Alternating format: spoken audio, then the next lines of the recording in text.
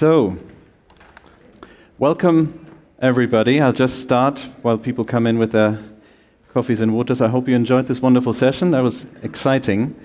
Um, I think we can rival that session with an even better one, um, and hopefully with lots of questions from the audience on the subject of biases in artificial intelligence. So, a very controversial, intense, good, very applied uh, topic for us. Um, and I'm surrounded by what I would call explorers and practitioners of AI, which I'm pleased to introduce. And Suzanne uh, Brinke works for HireVue, uh, a business that's been around since 2004, started really in uh, web based and camera based assessment and has built an AI engine that helps her, uh, in collaboration with data scientists and engineers, um, work through assessments and the analysis of people in the context of interviews uh, and other similar situations. But she will talk more about that. Welcome, Suzanne.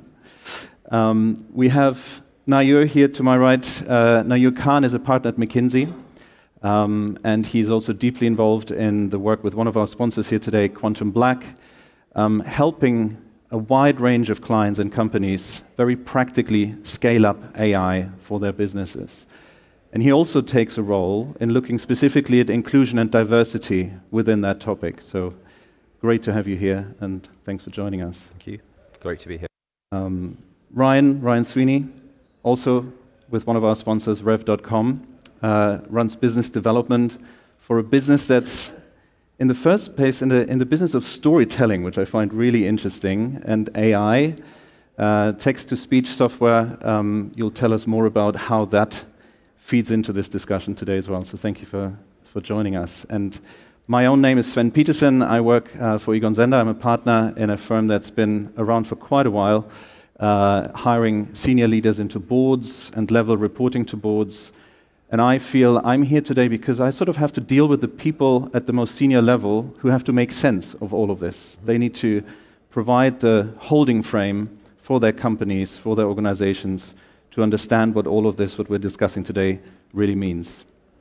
So, with that, maybe let's dive in, Ryan, with some thoughts and findings that you can tell us about uh, at rev.com. Sure, thank you. I'm actually going to utilize this podium here. Thank you, Sven, for the introduction and to the CogX organizers for setting the stage literally and figuratively for us to have some very important discussions around critical topics, including ethical AI. And if you've seen the news just in the last couple days, you'll know that this continues to be a hot topic.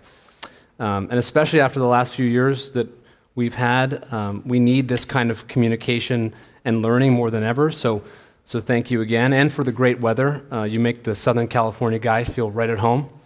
Uh, I'll only be here for a few minutes, uh, hoping to help the stage uh, for our discussion with an illustrious panel. But before I do, I would like to acknowledge that I am a white male talking about bias, and white males have not been disproportionately disenfranchised by AI as it has for many other groups. My experience in this field comes solely via the lens of the work that we do at rev.com um, and the meaningful first steps that we've made to mitigate bias in ASR technology, which stands for Automated Speech Recognition, uh, which I'll talk a little bit more about uh, in a minute. And may I have the uh, slides up, please? My verbal cue. Mm-hmm. Um, I'll start by saying that every human exhibits bias, surprise, surprise. To each their own, we all have them. If you look at this image and think of a call center with thousands of agents, each exhibiting his or own bias, um, what you actually have is a highly diversified, high variant output as it relates to bias on any specific input. It's expensive and complex, but it is diverse, not necessarily by design, but it's diverse. If you call that person and you don't connect, that person doesn't understand you, you just hang up, call back, and speak to someone else. Now, if you train an algorithm to replace or augment these call centers, as many CIOs and CEOs have done and will continue to do for obvious reasons, what you get is a scalable, uh, cost effective solution. But if you're not careful, um, it won't have that glorious diversity that we had in the previous system. um, that you had with the system that had thousands of independently biased agents. Whatever bias is present in the algorithm will be applied at scale to all of its inputs. That's just really one example of where the shift to AI gets precarious. Um, the number of applications for which our voice is used is growing exponentially. Even just the pandemic has helped accelerate this further. The, the uh, in person uh, communication that we've had has, has diverted aggressively to, to digital. Twilio, if anyone is familiar, the customer engagement platform alone uh, processes 40 billion call center interactions a year. That's one company over one year. Rev was started over 10 years ago with a mission to build great work from home jobs, which seems timely today. Um, we have over 70,000 what we call revers or freelancers transcribing content from customers in media, education, finance, healthcare, just to name a few. And a byproduct of that effort is arguably the best data set in the world for which to train our AI. The result is not only the most accurate engine on the market, but also the one that, that exhibits the least bias. By having an organically diverse uh, set of, of workers around the world transcribing mass amounts of audio from different voices around the world, we have one critical piece of what's required to build an ethical AI engine, just one piece. One example uh, of our work uh, applied in the real world is HireVue, and I'm, we're very lucky to have Suzanne Brinke here from HireVue. Thank you. Uh, as Sven said, is an enterprise hiring platform that's focused on fairness in the hiring process at scale. They analyze interviews to make suggestions about the best talent for the job. And it is paramount that the AI driven transcript, as in many voice applications that we use um, whether we know it or not. That transcript helps inform prediction models and insights that result in the hiring or, or the decision not to hire someone. Um, for context, this is how our AI performs against some other providers. As you can see, um, uh, it, it's, it's not perfect. We're not perfect. Uh, but uh, our mission is to collapse the dots in the bottom right hand corner of each graph. And you can see that uh, Rev 1.0 to 2.0 is actually getting better it's a continual process um, to, to lessen the bias in our engine. This is just over the course of a year. Um, and by the way, I should say that uh, the low, lower is better when we're talking about word error rate in, this, in, in, the, ASR, uh, in the ASR world. So um, as I sort of cue the final cliche interconnected image, as um, many of us have probably seen at nauseum, um, as leaders of companies, when we make decisions about buying or building AI, the network effect is almost always greater than we realize. You, as a leader of a company, buy an AI product, and that, and that, that company that sold it to you uses your logo on their site, or an employee posts on LinkedIn about this great AI that, that the company purchased or is now using.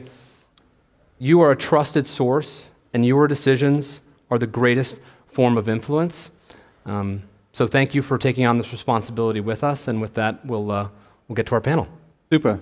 Thank you. Thank you. Thank you, Ryan. That's uh, very informative. And I guess what we're talking about today is bias in, bias out vis a vis AI. So, what are our biases also in creating the very AI that we're developing to get the bias out? And maybe my first question, Suzanne, is mm-hmm. does it work in the people space? Does the AI that you work with help you get the biases out of hiring decisions? Uh, we like to believe so, for sure. I mean, I think it's it's an extreme that you're positioning. There's absolutely no bias. It is a little bit more nuanced than that. But in our um, in view, what we do is we it starts off with the data, right, as ev as everything does. So we start off with as diverse a data set as we can muster. And because we started as just an interviewing software company, we collected loads and loads of data from all over the world, from different ethnicities, different kinds of people, and we brought that in as a first step when we started to build those algorithms to then assess who's a strong candidate versus not. So it starts with that diverse data. It also goes into the kind of providers we choose to work with, where we do thorough research to make sure we get the best that's currently available, and RevAI is a great partner in that. Um, and then we take another step once we then start building our algorithms. Our algorithms are designed to predict performance in that interview. Mm. Um, but then we have to be realistic and, and, and look at ours, not just assume that everything's going to be hunky dory just because we took those first steps. We go back in and we do often then find some subgroup differences, and then we go in to mitigate that. Um, and then it becomes a balancing act in reality because we're on the one hand predicting that performance on the interview on the other hand we're reducing the subgroup differences. And thankfully we work in a very regulated space where we can say okay there are certain uh, standards we uphold. Uh, four fifths rule is one of those which i can explain later if we wanted to. Um, but we take all this criteria. We set a, a standard beyond that where we can. Um, and we end up hitting a spot that we believe is right, is ethical, and we're as transparent as possible on how to then use it in a way that doesn't end up adversely impacting anyone. It is a slightly more complicated story than just saying everything's gone, yay. Um, but we, uh, we get to a really solid point that, in the end, if you compare it to the, the very basis of the alternative as a human evaluating your interview, we actually believe we have a better product there that's more fair and more balanced. Yeah. That sounds promising. Um, now, your inclusion, diversity, and AI. Uh, tell us a bit about your thoughts on that. Um, actually, I, I want to pivot a little bit back and build on some, some of the previous questions. And um, I know we're talking about bias in and bias out, but when working with organizations, the first question I always ask is, what's your definition of fair? Mm. Like, as an anchoring point, what's your North Star? Of fair. And if you look into the science and the research, it's very difficult to have one definition of fair. There's multiple definitions of fair. I always use, a, like for leaders, a simple example. If I have 10 students in a class, different genders, different backgrounds, different social economic conditions, and I have five suites, who do I reward? Hmm. How do I make a decision of what fair is? And if I ask different individuals, maybe on the panel here or individuals in the audience, I'll get different answers. And why is that? Because there's not a A, there's not a consensus definition of fairness, and B, everyone's got uh, their, their own bias, their, un, or their, their own unconditional biases or their own unconscious biases. And this is a problem, because this is where it starts. Without a clear definition of what your product or what you're building is of fair, when you start going down to bias, and I, am not biased, or, I'm, or uh, some bias is okay, and some bias is discriminatory, so it, it's the discriminatory you want to avoid. But what is the ones that you're going to anchor on from a mathematical point of view as you build your models? And what is the ones that you're going to anchor your whole organization on, say, this is how we address fairness? Where it becomes more complex is fairness is att attracted to social constructs or, or, the society or the region you're in. So what's fair in the US might not be fair in UK, might not be fair in China. So when you have a product or you're building something for an organization that needs to go global, you're going to have to have multiple definitions of fairness. So I thought I'd throw that in. because then once we take that step, then we need to really think about inclusion and diversity. Because this is where a lot of the problems have happened, and this is why we've seen, especially in the, in the media, where a, for example, um, we've seen uh, black patients discriminated against um, in, in algorithms built by in the US at a huge scale because no one really looked at properly the data. It's, it's not that we were classified based on race. It was a fact, it's a fact that there was a lack of a diversity and understanding, or actually, there is a disparity here. There are social conditions but because of lack of inclusion, like lack of diversity in building those algorithms, it was very difficult to spot until the, it arose and was published in a, in a paper. So where I'm, I'm, I, I always come back to is ask the question on what is fair first. Then we go to bias, and then we go to, well, what's a team building here? What's the fairness of that team? And then we can dive into what, what do I mean by that. And at QuantumBlack, who's asking that question? Um, a very good question. so, so one, I, I, I do this, and we do this as, an organization. Um, and whenever we're working with organizations, the first question is, well, you're building AI, well, what's the purpose? Who is it going to serve? Is it for a specific group or is it for a global group? And there's a question that we ask. And so we're really trying to anchor from a societal point of view is what is fair? And it's very kind of user directed, very persona directed. Um, but internally, what we also do is we focus a lot on making sure that our um, um, the people working on projects or the, or the, uh, organizations we work with are diverse in nature, and we really try to encourage. Now, it's always difficult because we always hear the same complaints that the, the pipeline or the funnel is not there. There's lack of diversity in the funnel. But my always comeback on that is, well, you're not looking wide enough. there is plenty of diverse candidates out there, especially in data science, data engineering, software engineering, product, user experience. I think the mic is cutting in and out. Um, but there's, there's plenty of diverse candidates out there. So I, I, I think we ask questions, and we ask very hard questions, especially when we're talking about building AI that's going to impact individuals' lives. Um, one question for the three of you, but also Ryan, maybe is: Do you operate under the assumption of uh, bias-free is actually a desirable state, and is that actually possible? So, just riffing on your more philosophical stance to say, is the target operating model one where you try to create a bias-free AI? Is that a possibility? Mm-hmm. Because if we factor in also time, mm-hmm. it starts becoming uncontrollable because what we might think is no bias today was a bias in the past, or it will be one in the future. But it is a little bit of a moving target. Um, I think we have aspirations for bias-free. Today, honestly, it's a, it may be narrow, may seem narrow um, when you look at all the languages that we speak throughout the world, but our focus is really English and eliminating bias from our English um, model. Um, we have not quite gotten there with other languages, so it's a, it's a great challenge, mm. looking beyond. Yeah. Thank you. Um, one thing I thought about when you were speaking, Nayur, was, was a bit the effect of unintended consequences. So you build the AI to the very best intentions, and then stuff happens. Mm-hmm. Mm-hmm. You didn't really predict, it just happens. This very clever engine spits something out.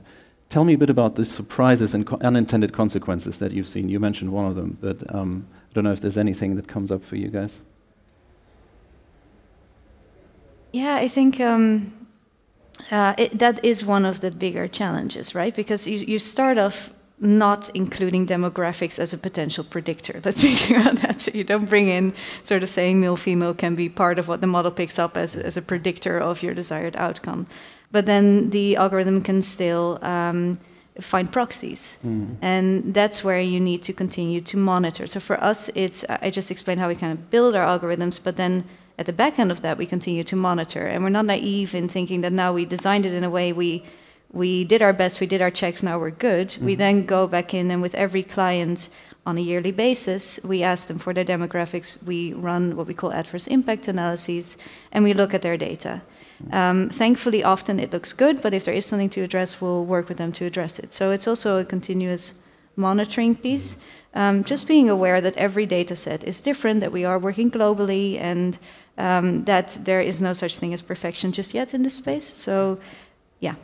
no, thank you. I don't know if you guys anything comes up. Well, I mean, hundred percent. There's no such thing as perfect, and I mean, we've seen recently uh, with a, lar- um, a large cab company um, that there's an employment tribunal um, occurring right now because the software they used misrepresented or, or, had racial bias. It couldn't detect um, people of color that looked like me or, or black. Um, and individuals are fired, and th- so therefore there was discrimination. So now that organization is going through um, a, an employment tribunal based on that. Uh, and I'm sure that was surprising because that cab company didn't write the software. Mm-hmm. Sorry. Thank you. That, that cab, is that working? That cab company didn't write that particular software. It bought it off the shelf. So it's a third party that's provided software, which is an interesting conundrum because now it infers that organizations, if you are using AI in some form or fashion, the product that you're buying, if it is going to impact individuals' lives, is that product, has that product got bias in it? And if so, what is it? And what's the consequences? And where does a, where does a line draw? Yeah, yeah. Mm. Um, I'm very keen to um, hear questions from the audience shortly, but I, I, I guess one uh, last question on my side is, is a little bit back to the who defines what is fair and not fair. And I want to pivot a little bit into the subject of responsibility. Mm-hmm. Uh, how do you hold the responsibility for this uh, technology vector that you're developing? I'm very impressed by a quote I read the other day. Uh, it's an American naturalist and biologist called Edward O. Wilson. And he said, um, The problem with humanity's crisis is as follows we, are, we have Paleolithic emotions, medieval institutions, and uh, godlike technology. godlike technology. Mm. Paleolithic emotions, medieval institutions, and godlike technology. So, as a leadership coach, my vision is that if I can help leaders uh, develop their consciousness to hold this godlike technology, we're in hopefully in a better place. Mm. But that's a huge ask, right? So, what is my own responsibility to work on my own biases? What is the leader's responsibility to work on how do we hold AI in our business? How do you, as producers, explorers, developers of AI, hold that responsibility? What do you think about that? I'm, i might just, uh, on that, Rev, we, we um, stumbled upon uh, a product that exhibits less bias than perhaps others, not bias free, but um, a work in progress. And it, it was not an intentional, uh, we, we, we set out to build an engine that, that would be the most accurate. And so um, if you look at the definition of accuracy, um, transcribing words spoken by people with different ethnicities and different genders um, falls into that category. And so, from our standpoint, we've stumbled upon it, and we now hold this responsibility to continue to talk about it, to um, educate our, our clients, to um, uh, to, to continue leading in this space and, and, and, and hopefully help uh, lead by example.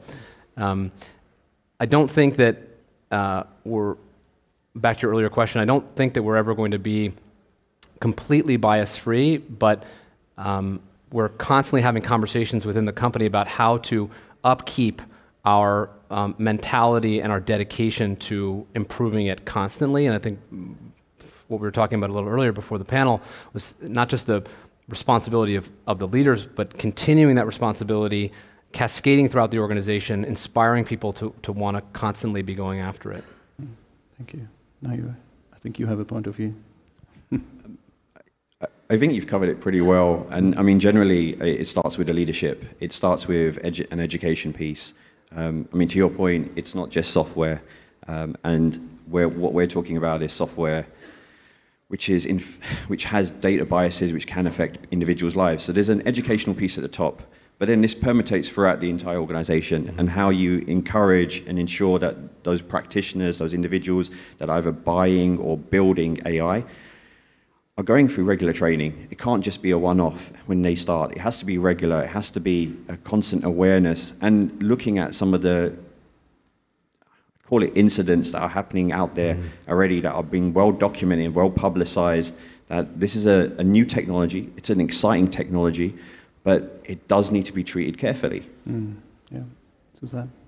Yeah, I'm not going to add anything mm. super new here. I, I agree with um, both my, my fellow panel members. Um, I, I, think AI is a tool, right? uh, in my mind. So, um, to very blatant analogy, maybe, but um, a, a, fork, you you should know what you're using it for, right? You could use it to eat, or you could use it to poke somebody's eyes out. You do need to mm. understand the tools you're using in a basic sense and make the right decisions in how you use them. And then um, I think there is a role for the leaders and the users, the end users of our product, to uh, want to understand in a basic sense what they're using. There's an absolute responsibility on us to explain it as well as we can and explain how to best use the scores, how best not to use the scores, not to poke somebody's eyes out. and there's a um, and there's also, I think, a responsibility we have to allow the people that are impacted to understand what we're doing. So we've recently launched an explainability statement, and we're very first in the HR industry.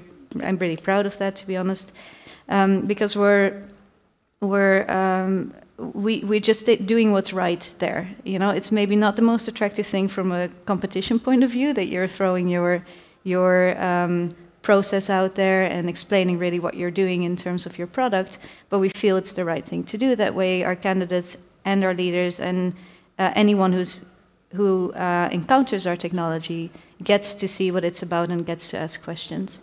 So it is. It's a lot of different parts that together I believe, create that that better place, but it's also ongoing work. Yeah. I do agree.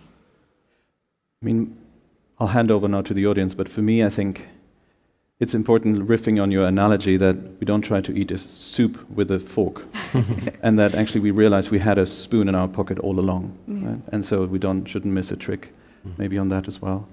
So with that stage setting, thank you so much, um, panel. Please, some questions from the audience. We have about 20 minutes, so all of you will be able to ask one. And I think the way to go about it is the gentleman here in the beginning, or the lady, please. Uh, yeah. Oh, yeah. Um, riveting panel. Thank you for that. Uh, my name is Deepak Parmanand. I work for JP Morgan, and uh, I build AI products day in day out. So this is, you know, me living through all of you. Two questions. Um, in your day to day, as you build these products, did you have a bias spot, like a blind spot you were not aware of that in your work uh, you were, you were made aware and you now know it and you possibly are changing it? I'd like all of you to say one example. Second question is, um, why not use synthetic data to overcome the bias that you see? Have you tried it? Did you not try it? Do you think it's good, not good? That's me. Shall I start? Uh, so I, I don't actually, unfortunately, build the algorithms myself. I wish I could, but we have our data science team who does that. I'm on the psychology team. But there is a blind spot that I was made aware of uh, in our product um, when I was working together with one of our partners. So we worked together with a partner called Integrate Autism Employment Advisors, and they work to um, support autistic talent coming onto the job market. And we provide interview questions as part of our product to clients. And we had, um, and, what this partner um, helps us with is they review those questions and they give us feedback. So I ran through an exercise like that with them, and it was really fascinating. It showed me a lot of my blind spots. So, for example, we had a question around team orientation, saying, um, tell us about a time you worked with a team on a joint call, and what did you do? Tell us about you know STAR method. And uh, they said, well, the moment you throw in team and goal, autistic talent tends to think about sports. So you kind of derailed them right there. And then we changed that question into tell us about a time you worked with a group of people on a joint project, and that worked better. Um, so it's just a very simple, relatively small example of, of a total blind spot that I had, um, where bringing in those external points of view is really valuable. I'll start with the first question and I can address the second one. Um, so the first one, I, I think, look, we're, we're all learning. Um, and not to comment on any organization that I've worked with or, or seen, it's always a journey. And I've always found, and this is why I always divert, divert back to the diversity and inclusion, when you have diverse teams, you spot things very quickly. And I'll use an example like facial recognition. Or, or um, facial recognition historically has not worked well for people of color. Well, if you have people of color on your team, you'll spot pretty quickly in the process that actually it's not working. Um, so, so that's one. It's always a learning journey, and when we talk about the the training that we give, it's continuously updated. So it's not done from a management point of view. It's done by the individuals and the practitioners for the individuals and practitioners. So that's one. In terms of synthetic data, uh, it, it's an interesting one, um, and this comes back to the topic of bias uh, and validating your your models. Who are you validating your models with? If it's against the synthetic data, then that's not representative of the real world and that's a challenge. And I've seen that there are um, new te- technologies available which are generating, um, again with facial recognition, artificial faces, trying to generate synthetic faces that are not real, but trying to get a representation. However, they still have bias in it because they're not representative of the real end users. So synthetic data only gets you so far.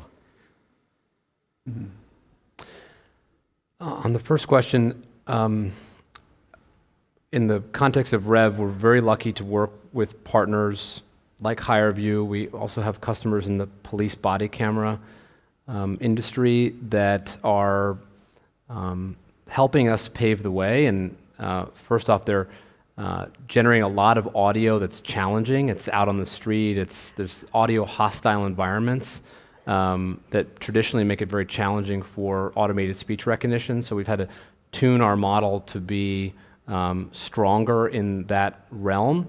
Um, but I can think of an example of um, a French Canadian police officer who was um, speaking with speaking with someone, and there was sort of wind in the background, and um, they alert our, uh, our, our engineering team right away. They show examples. They say, hey, we'd love to get this uh, to a better place. And I think that partnership with, with customers and partners uh, is, is, is, critical, right? You don't want the customer to come back and say, oh, oh look, look, at this, and you know, how did you not see this in the testing process? This is your fault. I think at least in our world, there is a sense of uh, joint commitment to identify challenges if they believe that we, Rev, are doing everything that we can to deliver the best product for them, and that's one that is the most accurate in many different um, audio environments and also with many different voices, types of voices, um, then it's a partnership. So it does happen, but we, we almost celebrate it today um, because we get to work closely together. And I don't think I'm qualified to answer this second question. From a, uh, I would say this my wish is for an AI that's not bias free, but an AI that helps me identify the fear that's behind my own bias. Mm. In other words, is there an AI possible at some point that will tell me how to work on myself mm. so I can live more bias free? Mm. Wouldn't that be cool? I think that would be the ultimate mirroring of the blind spot in the AI back to me, right? And then the work on myself. Mm. But we had another question in the audience. Please, uh, could we have another microphone? Yes, you get a microphone. Hi, um, I'm Hello. Sophia. I run Tech for Non-Techies, and uh, this is a question for the AI specialists. Um, on your teams, is it mainly machine learning engineers and data scientists, or do you also have non-technical specialists working on these projects? And if you do, then what are the backgrounds of these non-technical specialists and what, what do they do and what value do they add? Thank you. Great question, and we have one sitting right next to me, me, here. So, Suzanne, over to you. Yeah, I, th I think um, indeed HireVue is a nice example of that. So uh, I come from a psychology background, and there's an entire team of us in HireVue, and we collaborate very closely with our data science team um, who come from a range of backgrounds, but indeed machine learning is one of the key things we do. We also have uh, our engineering team, and we're all together in one big group called product. Um, and uh, there is, I, I, think the power lies in our collaboration. So we learn from each other. Um, and Sven and I were having a, a, a, chat about this before the session. I think one nice example maybe is that, for example, in bias mitigation, um, an effective way to mitigate could be to treat different groups in your data, men and women, for example, differently, and then to sort of get them to the same kind of outcome score. That would be illegal from a um, in this hiring space in the U.S. context. So the, the kind of conversations we'd have is about okay, this is the psychology standard. This is what we also understand about the legal landscape. We also have our legal experts, of course, who also join in on the debate. Um, we come in with uh, this is psychology has shown for decades um, with decades of research that structured interviewing is a really good predictor of job performance that cognitive ability is a great predictor and then we go talk to our data scientists about okay so how can we use the latest technology to to automate this to to run this um, yeah to, to use your skills to make this even better for our candidates and users mm -hmm. so that's that's our day to day um, and I think it's in that collaboration because I, I, think the psychology team doesn't necessarily come with all the technical expertise, but the but our technical talent doesn't always have that lens of okay, what has the research shown works versus not, and also what's important to consider from a practical can do versus shouldn't do perspective. Anything to add? No, I, I, think you've covered it well. Um, I mean, the journey does start with many organizations that I, I tend to visit with let's hire a data scientist, let's hire a data engineer, and that's all we need. What it ends up with is you have a bunch of technical practitioners, um, so machine learning engineers, DevOps, software engineers, platform engineers, system reliability engineers, so the, the technical expertise. But then you have a number of other type of profiles that are part of the team, um, including social science, because since we're talking about bias, so social scientists, um, QA, uh, user experience, product. Um, so eventually you have a football team and are completely focused on this particular product, whatever it is. It's not just a model, the model's embedded into something else. So what is that product and how do you evolve it and how do you test it? And on the QA aspect, just to mention that, again, back to the diversity comment, is the QA team are diverse in nature. They're outside in. they're not part of the team per se, but they're really there to challenge and they're there to give the lens of or their representation of the real world.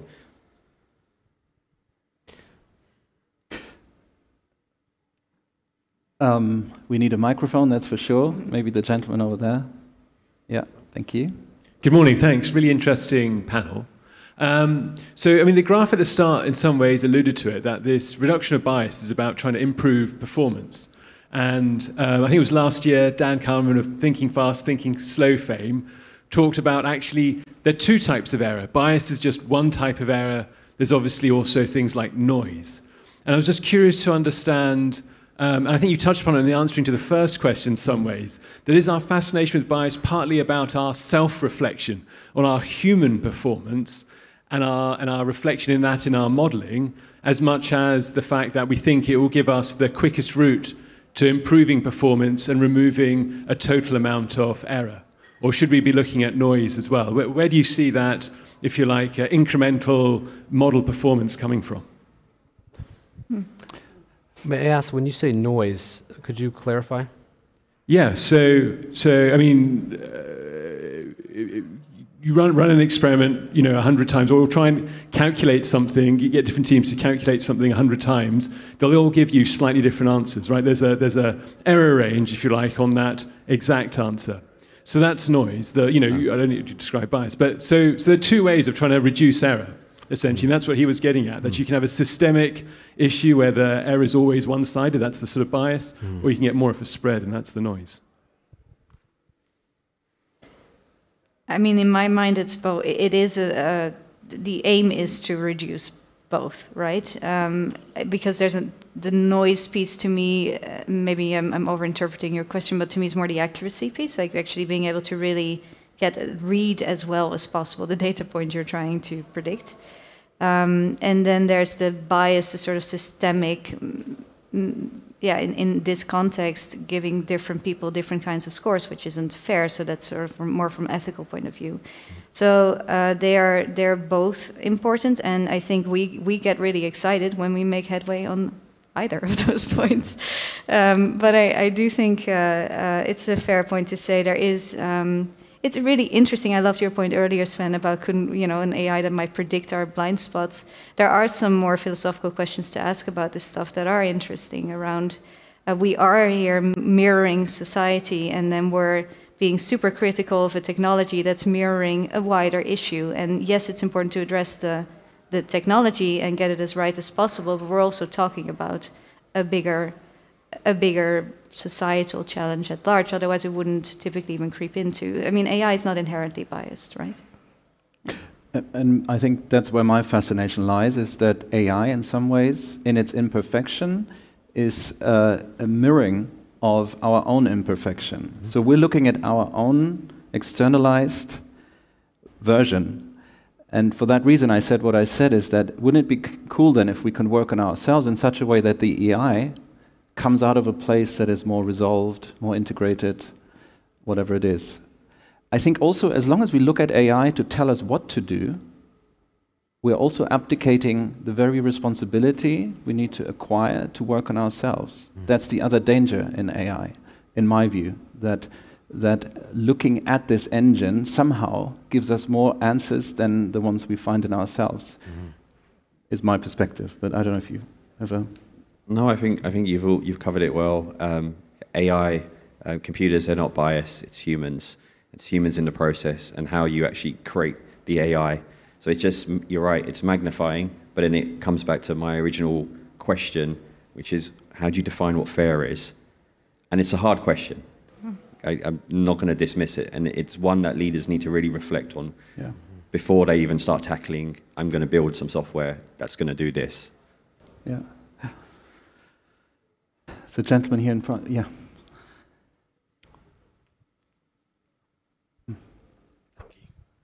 Um, Riaz, Radiate B2B. Um, I was wondering, do you think that these engines should be independently audited in the same way that financial accounts are? And is, given your point about fairness, is that even possible? Good question. We have been audited.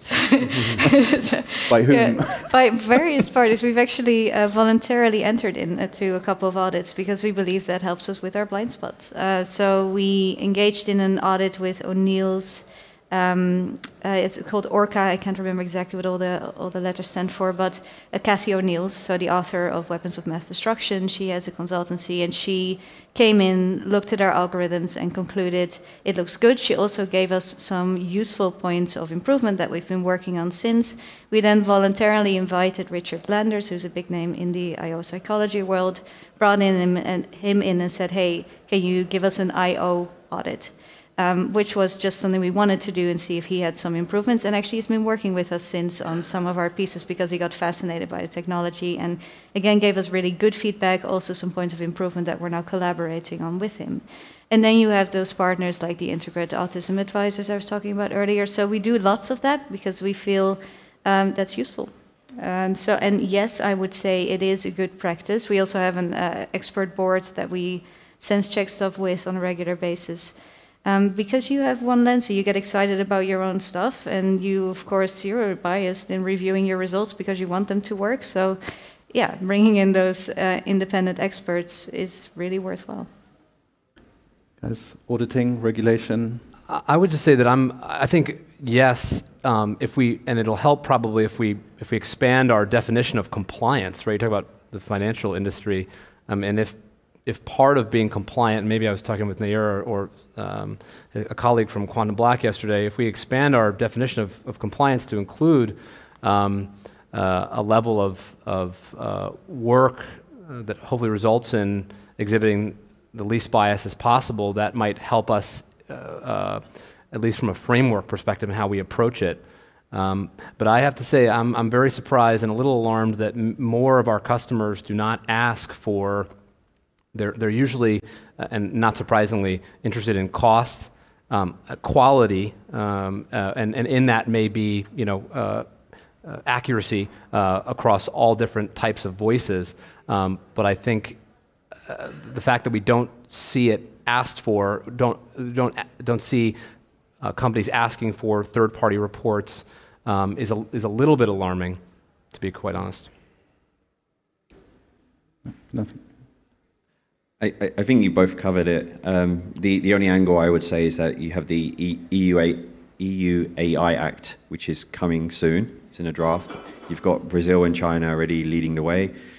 Um, the FCA in the US wrote a blog post um, probably about a year ago now saying if your AI is not fair, we're coming after you. Like, and it's, it's pretty out there, it's blunt. And, and that scared a number of organizations enough to know that look, something's coming. um, we need to get our house in order. We need to really treat this with care. And we're back to what is fair. Mm-hmm. Um, just behind the gentleman here, just mi- another microphone, please, in the second row. Thank you. Hello. Um, I'm wondering to what extent we're seeing this as an imperative at the board level, beyond the area of HR where it has to be, uh, and is there investment actually going into this area? And if so, who are the leadership kind of execs who own this? Is it product innovation? Is it governance? Is it a collaboration? Really interested to, to understand also if this is being also linked to data, where there's also inherent bias. So it, it should be really a holistic approach. Or risk, even, no? Could be the risk function, yeah. I'll give two answers on that. And, and I'm seeing this at, at board level um, in various organizations, but with two lenses. One is on the risk lens. So the comment I just made about the, the FCA um, um, going up, potentially could go after organizations. If you were sitting on a board and you knew you were building or didn't know how much, how much AI you were building, but it had impact, you would want to know from a risk point of view, how much am I exposed and what are we doing to mitigate that and what are we processes we put in place? So that is a risk lens. The other lens is if you're building a product, um, I mean, it's in your interest to build a product that actually serves the many rather than the few. And I would think that you would want to serve more customers, you would want your product to work for more, and you would not want the, the, to exclude anyone, and you wouldn't want the noise out there or the negative press that actually it's excluding uh, individuals. So I think also from a product innovation point of view and a product point of view, you really want to focus on good business. So um, I've seen this already at, at, at, board level, these conversations. Who owns it? It's, uh, I think it's an evolving area. Mm. So I think that's an excellent question. Yeah. And and I see that uh, more generally, the pressure on boards becomes higher in terms of their accountability um, and responsibility. And they're not equipped currently to fully own that. Mm-hmm. Also, because their own knowledge, as you alluded to, uh, is, is beyond understanding of what the very AI will produce and impact that they're funding. And, and so it creates a whole new level of leadership requirement at board level, I believe, that, uh, uh, that we're just about to explore. But, um, but we're far away, I think, from really understanding what it means for, for boards. It's a highly exciting subject. And a great opportunity for investors. Mm. I'll make uh, our lovely organizers who did such a great job with this show and, uh, and conference um, very happy by concluding just on time. Uh, I want to thank the audience for their great questions. I want to thank the panel for their wonderful contributions. It was a great pleasure. There's a lot of energy around the subject. I hope it will continue behind uh, the curtain there, and uh, we're obviously here to field any more questions behind the curtain. So thank you all. Thank you.